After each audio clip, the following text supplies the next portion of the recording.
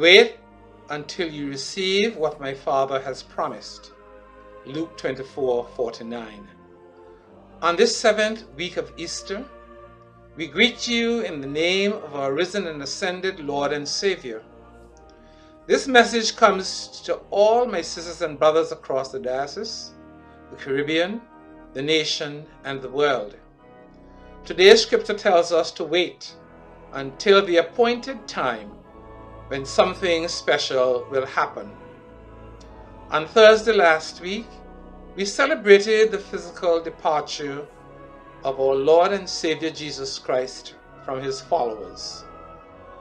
Before he left, he commanded them to wait until such a time when they will be empowered to move around, continuing the ministry he shared with and among them.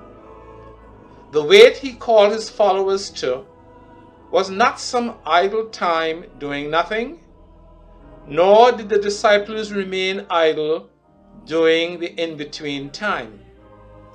For the disciples and certain other followers, while they all waited, they constantly devoted themselves to prayer and fellowship. So could we.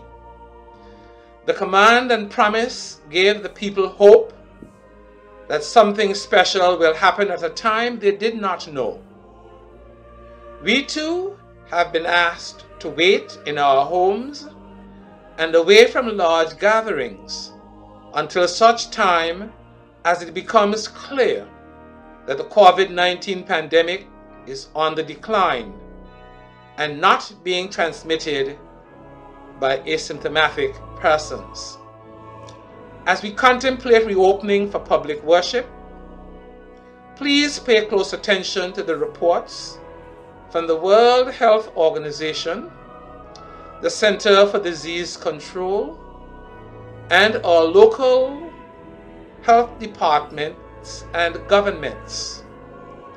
Our governments have raised the number from 10 to 20 or 50 persons who can gather for worship.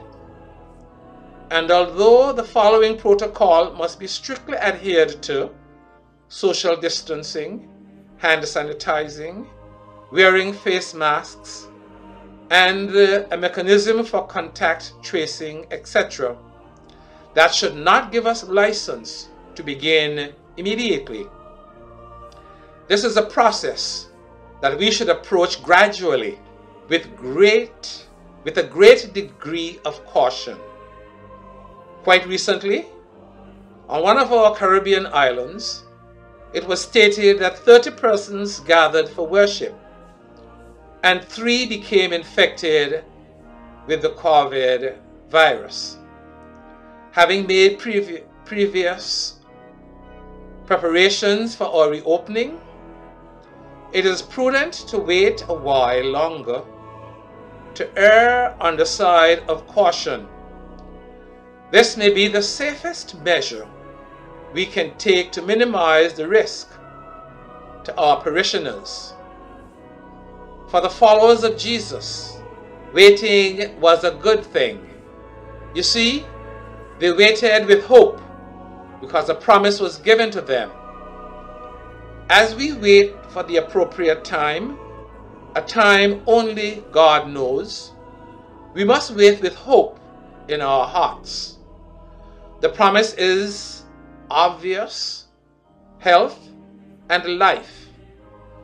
Proverbs 11:18 tells us, full of hope, you will live secure, dwelling well and safely guarded.